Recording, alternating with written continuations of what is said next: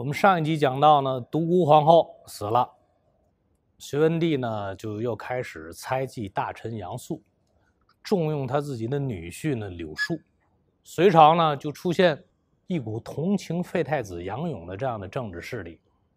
这个时候呢，新太子杨广七上八下，为此他还请求术士，这个大臣叫萧吉的，给独孤皇后选择墓地的时候多加留心，争取早一点儿。哎，把他父皇也招呼过去。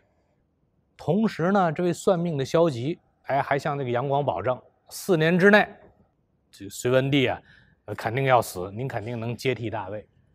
那么萧吉这个预言能没有实现呢？哎，还真实现了，而且还是提前实现。呃，不是四年之后，而在两年之后的仁寿四年七月十三日，隋文帝就崩于仁寿宫大宝殿。死时候呢是六十四岁。根据史书呢，这位隋文帝的死亡时间呢是没有任何争议的，所有的争议都是围绕他到底怎么死的。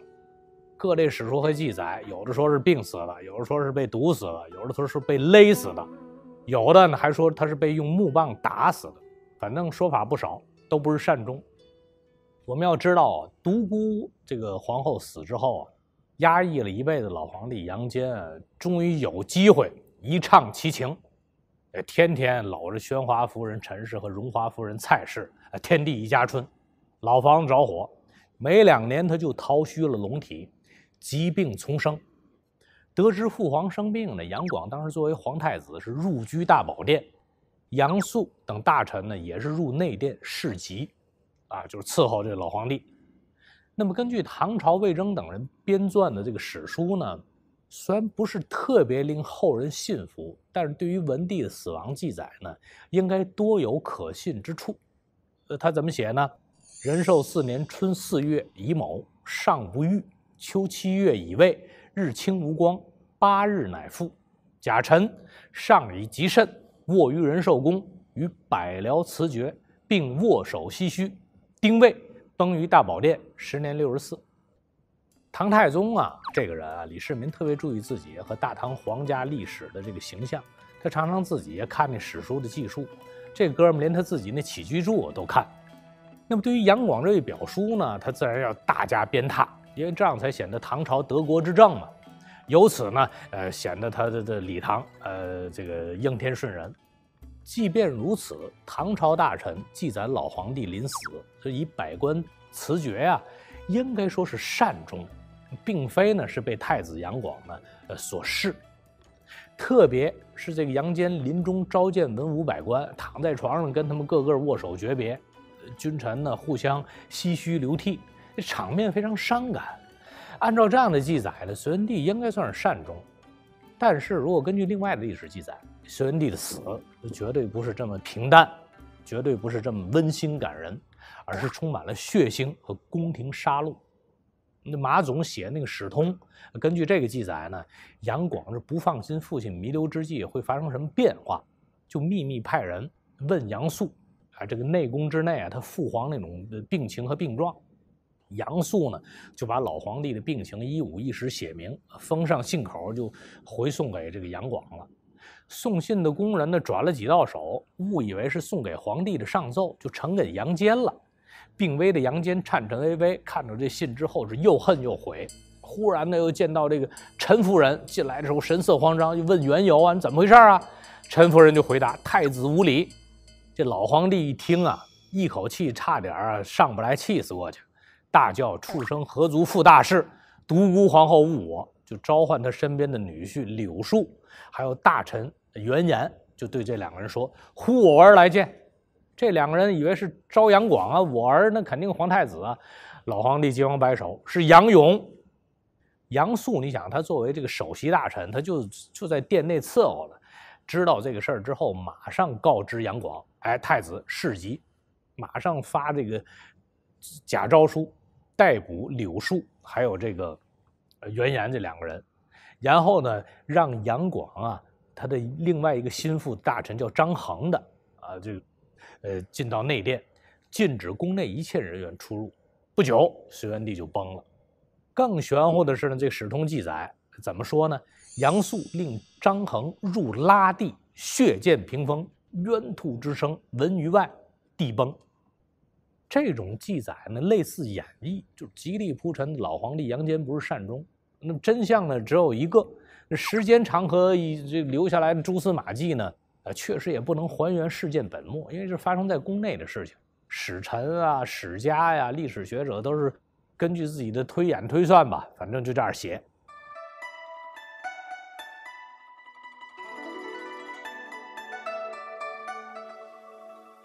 但上述记载呢，也有一定的可信之处，但是其中所讲的杨广调戏陈美人这个事儿，我总觉得绝对是后人编排的。我们要知道啊，独孤皇后去世之后，隋文帝最宠幸的就是陈国的亡国皇帝陈叔宝的妹妹，就是这陈氏，当时封她为宣华夫人。老皇帝病了，他肯定要在身边照顾。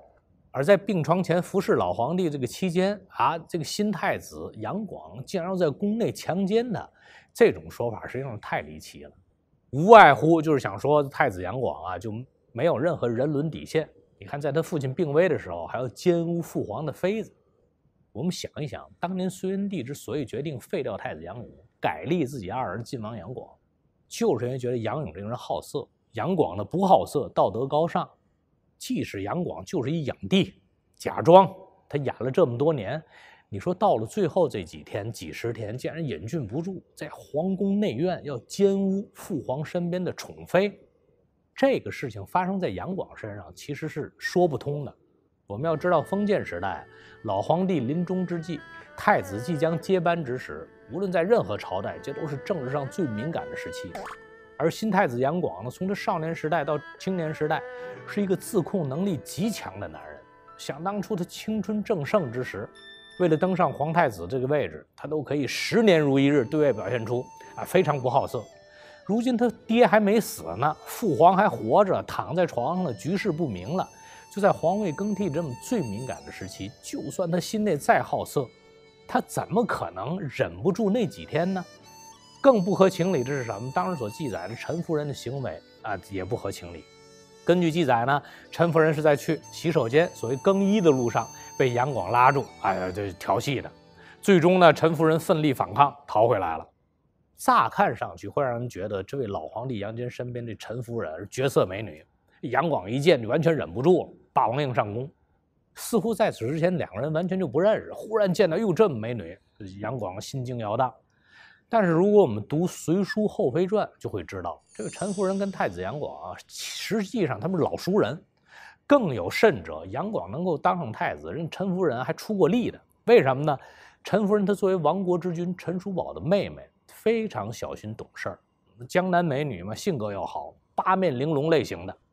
你想啊，这个促经独孤皇后活着的时候，就特许她可以侍奉隋文帝，可见这个女孩是多么的不寻常。而当时呢，人在扬州的杨广呢，一直贿赂母后和父皇身边的人，什么宫婢呀、患者啊、太监，一个不落，该送东西的都送。而扬州那地方盛产金银器，杨广就经常送一些黄金制品，就贿赂这位陈夫人，啊，就经常在他爹面前伺候的这美人。当时呢，这个陈夫人都笑纳了。取人钱财替人消灾，可以想见，在杨勇和杨广兄弟两个人斗法的过程中，陈夫人肯定会经常替杨广说好话。可见呢，日后杨广能当太子，陈夫人肯定算是有功的。也就是说呢，杨广和陈夫人先前呃就属于政治盟友。当然了，呃陈夫人二十多岁，杨广三十出头，呃，从隋唐时期的社会风气来看呢，说不定两个人眉来眼去，互相也能看得上。但无论如何，史书中记载的那种太子杨广忽然在宫内看到这陈夫人兽性大发，要扑上去，你说，爹还在病床上待着，局势未明呢，就是这些描写太像明末清初的，尤其明末那种淫秽小说的描写。而且呢，玉树临风的准皇帝杨广，对于老熟人这样的一个宫内老美人陈美人，根本不需要这么样的猴急。我讲到这里，有观众会说：“那怎么人陈夫人才三十多岁就老美人了？”对，在古代，女人三十多岁在宫内肯定就算老美人了。我们再退一步说，如果当时太子杨广啊吃了什么药，喝了什么酒，确实就在路上对陈夫人霸王硬上弓，在这样的情况下，这陈美人她果真会到这个垂死的老皇帝那里，这个杨坚那里去告状吗？你说别的美人可能会。但我觉得对于陈夫人这样的人来说，肯定不会。我们要知道陈夫人是什么人？她是作为亡国之君陈叔宝的妹妹。陈夫人在政治方面肯定是非常成熟的。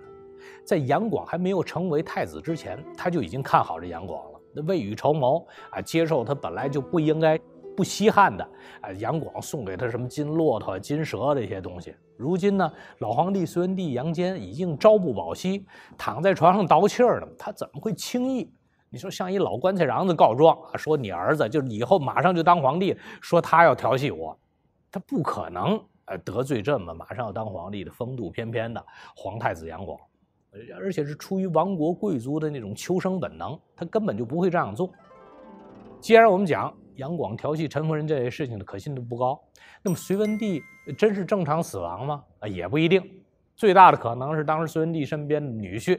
这兵部尚书柳树和那个大臣，呃，这个黄门侍郎袁岩，这两个人呢，确实都不支持新太子杨广，内心深处一直同情的废太子杨勇，和当时的这个宰相这个这个杨素啊，这两个人都跟他也不对付。由此呢，这两个人就想趁着隋文帝病危之时，头脑混乱的档口，劝说他召回废太子杨勇，哎，实现巨大的政治转机。一旦已经被废黜四年，太子杨勇当上皇帝，就意味着这两个人马上成为新朝的左命元勋。他们的心态其实和当年周宣帝宇文赟去世之后，那刘访和郑义那两个人交招把杨坚弄到朝中的心态是一样的。就这样呢，哎，濒临死亡之际，隋文帝啊，确实还有可能产生重新召回啊废太子杨勇的打算啊，就并让他们起草诏书，呃，招这个杨勇入宫啊，有可能。结果呢，这帮人的密谋还是被杨素布置那些眼线知道了。呃，生死之际啊，事关自己这个前途、家族的这个命运，杨素马上禀报呃皇太子杨广，即刻采取措施，把柳树和袁岩两个人都控制起来了，抓了起来了。那么你既然在宫内走出这一步，病床上垂死的老皇帝，呃，这个隋文帝其实呢，等于就处于被软禁的状态了。你说在这样的情况下，太子杨广是否需要派人把自己亲爹打死、勒死或者毒死吗？按照常理呢，应该不需要，因为根据史书中精确到每一天每一时的记载，隋文帝在三天之前就已经和大臣们当众诀别过了，握手唏嘘嘛，意味着所有人都知道，这老皇帝来日无多。如今呢，就主要保证老皇帝不能再能够和大臣们直接接触就行了。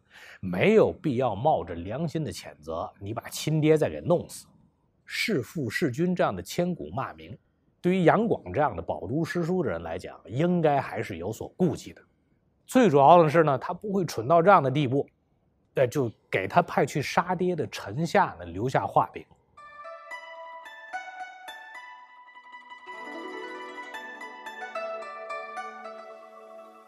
我们想一想，一向深沉猜忌。自诩英明果断的老皇帝杨坚，如今呢被儿子软禁了，而且当时又在病危之时，又惊又气，果然当天就崩了。所以说呢，杨坚的死呢，即使是那种在气急之下崩了，也可以说是呃正常死亡，也可以说是非正常死亡。但无论如何吧，这老皇帝杨坚死了，由此呢，开创一个伟大朝代的一代英主隋文帝。就这样结束了他六十四年啊人生，陈身身后留下的是一个统一的、强大的大隋帝国。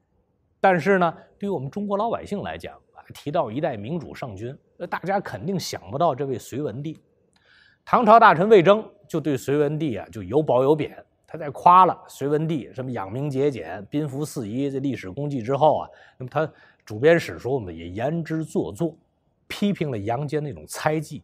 这个疏亲和寡恩，原文怎么说呢？隋文帝素无数学，不能尽下，无宽仁之度，有刻薄之资。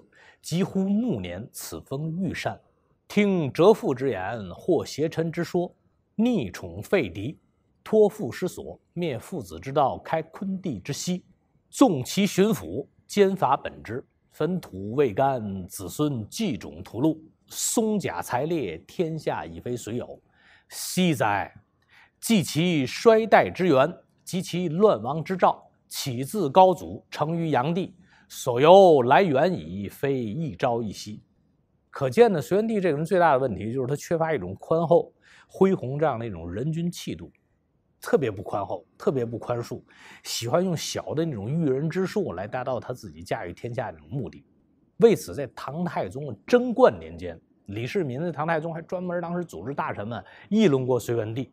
当时唐太宗就为身边的大臣萧雨，哎，你看你们好几个人都经历过隋文帝时代，那么这个隋文帝到底是个什么样的皇帝呢？那这个萧雨不是别人啊，他是隋炀帝皇后萧氏的同母弟。他就这样回答太宗皇帝：隋文帝啊。是一个符合孔子克己复礼那样的好皇帝。我记得他每天早晨啊，早早上班，太阳落山，人家还不下朝，常常中午都来不及回去休息一下，让卫士从外面把餐食直接递到办公地点，和大臣们一起吃工作餐。所以我认为，隋文帝算是一个励精图治的好皇帝。唐太宗李世民，绝对是一代明君。他。想了想萧雨的话，就回答他说：“公知其一，谓之其二。此人性智察而心不明，夫心暗则照有不通，智察则多疑于物。又弃孤儿寡妇以得天下，横恐群臣心怀不服，又不肯信任百司，每事皆自决断，随则劳神苦行，未能尽合于理。朝臣既知其意，亦不敢直言。宰相以下，为承顺而已。”唐太宗这一席话什么意思呢？哎，萧公，您只知其一，不知其二。隋文帝这个人性格很苛察，他心里啊，对于大道理并不是特别明白。由于他自己心地阴暗，所以说他好多事情他都判断不明。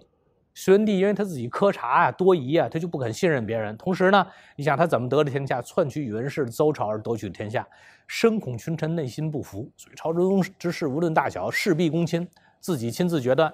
因此呢，每每他自己累得半死，劳心费神，很多事情他也未必能做得真好。隋朝的百官呢，明明知道隋文帝为人苛察，所以呢就不敢说，不敢做。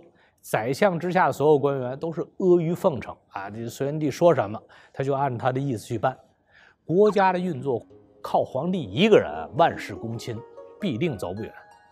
可见唐太宗李世民的判断是基本正确的。他心目中的隋文帝呢，确实不识大体，所以呢他就不能。呃，就被称为真正的是属于这一代圣主明君。隋文帝杨坚最缺乏就是对天下那种大局意识，缺乏一种皇帝应该有那宽仁气度。所以性格即命运。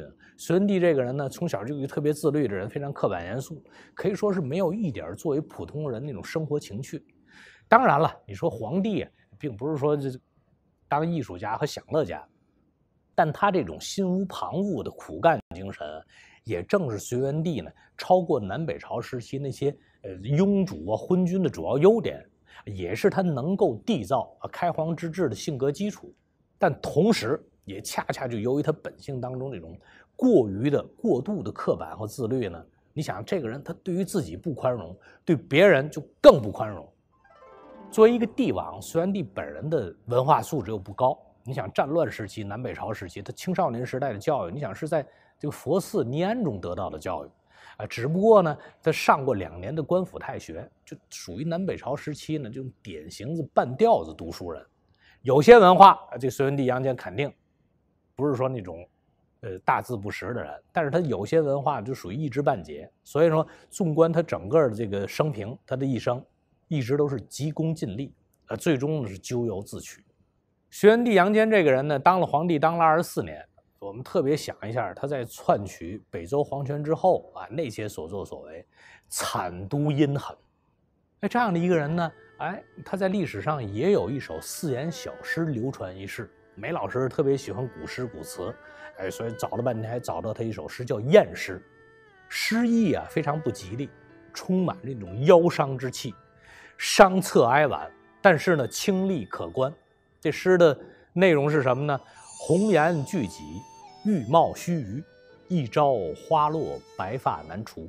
明年后岁谁有谁无？这首诗呢，是隋文帝这老爷在开皇十年，就公元五百九十四年啊，巡幸滨州，与他儿子秦王杨俊以及其他那些大臣王子们互相欢饮之后啊所写的诗。哎，诗意非常惨厉，啊，这个期间阴森的这种气息。那么，纵观隋文帝的发迹史呢，虽说他非常有魄力、有能力啊，更有行动力，最终坐上帝位。哎，在国内，你想这开皇之治啊，呃，大伙儿我们都知道，还挺有名的。他对外呢征服四夷，但性格决定命运啊，气度决定格局。他最后的走向呢，啊，却是的这个越来越吊诡。我们上面讲了十几集，讲的都是隋文帝。讲完了隋文帝之后，从下集开始，我们就要讲他的儿子隋炀帝。